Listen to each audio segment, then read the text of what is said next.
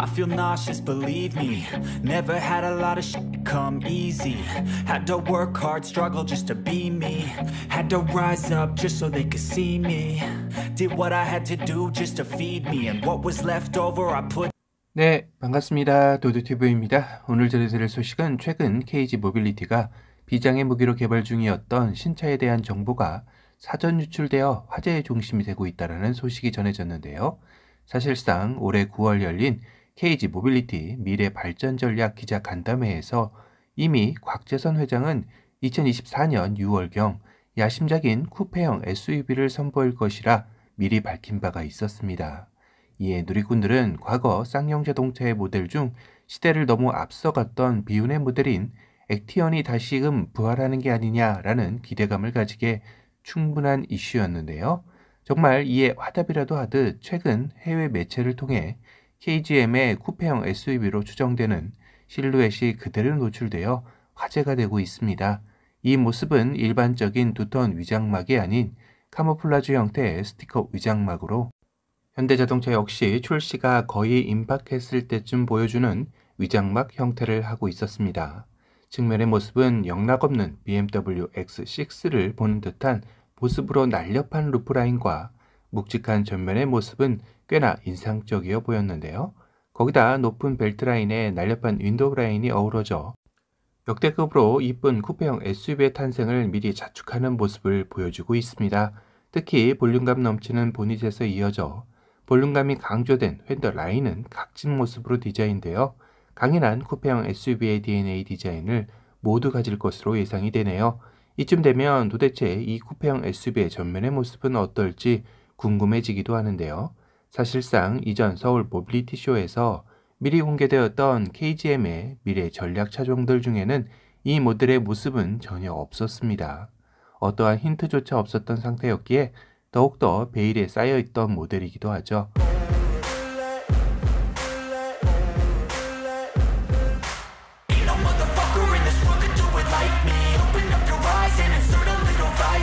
특히 KGM에서 이 모델에 대한 차명은 어디에도 공식적인 언급을 한 바가 없기에 소비자들로서는 궁금증만 더욱더 증폭시키는 상황이기도 합니다. 하지만 KGM 내부 소식으로는 현 토레스의 파생 모델로서 가명 토레스 쿠페로 개발 중인 것으로 알려져 있기도 합니다.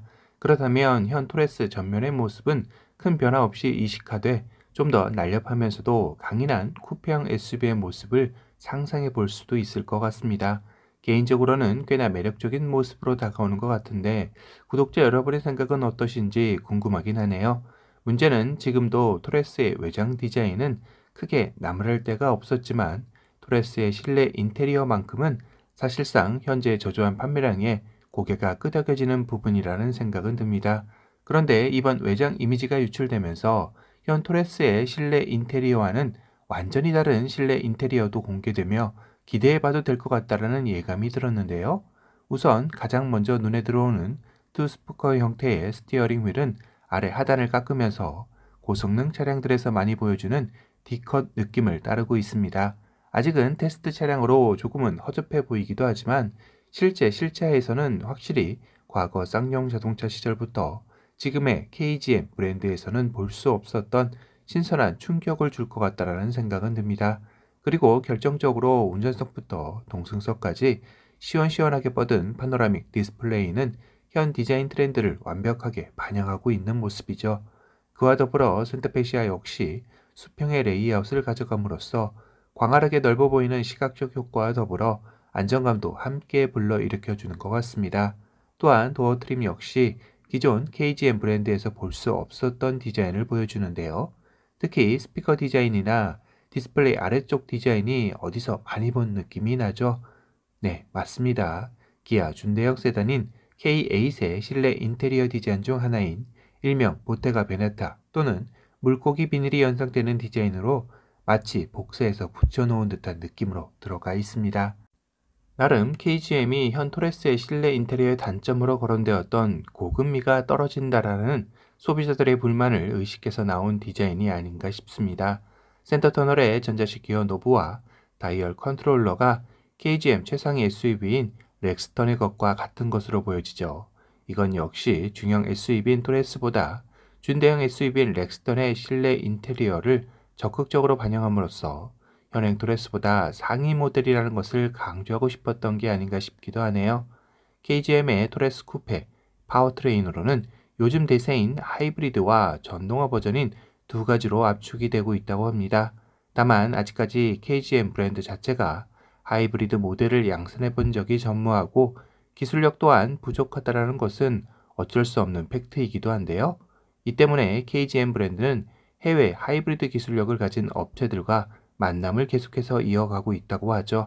결국 KGM은 고집하던 내연기관 엔진에서 이제는 벗어나 좀 더 다양한 powertrain을 갖추고 국내뿐만 아니라 해외 시장 역시 적극적인 진출을 꾀하고 있다라는 생각이 듭니다.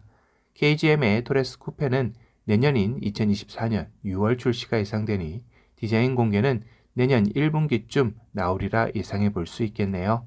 KGM에서는 여기서 그치지 않고 2024년 하반기에는 토레스 기반 픽업 트럭까지 출시를 예고하고 있어 과연 2024년은 르쌍쉐 중 가장 먼저 소비자들에게 눈도장을 찍고 유리한 고지를 선점할지 지켜보는 재미도 있을 것 같습니다. 아참 KG 모빌리티 대신 KGM이라고 말씀드린 이유는 얼마 전이었죠. KG 모빌리티가 신규 브랜드를 KGM으로 확정하고 국내 및 해외 시장에 적용할 것을 선포했었습니다. 이는 브랜드 일원화를 통한 기업 이미지 쇄신을 노린 게 아닐까 싶습니다. 물론 또 다른 이면에는 KG 모빌리티의 상표 출원이 불가능해지자 이니셜인 KGM으로 가는 것 같기도 하죠. 여하튼 KGM 브랜드는 전국 200여 개의 판매 대리점과 300여 개의 서비스 네트워크 간판 교체 등 새 단장에 나선다고 합니다. 오늘은 2023년 어려운 한 해를 보냈던 KGM이 2024년 game changer의 역할을 톡톡히 해줄 토레스 쿠페 모델의 실루엣이 그대로 다 드러난 위장막 차량이 유출되었다라는 소식에 대해 전달해 드렸습니다. 오늘 영상이 도움이 되셨다면 도드티브 구독 알람 설정 부탁드리고요. 또 다른 신차 소식으로 찾아뵙겠습니다. 지금까지 도도티브였습니다. 감사합니다.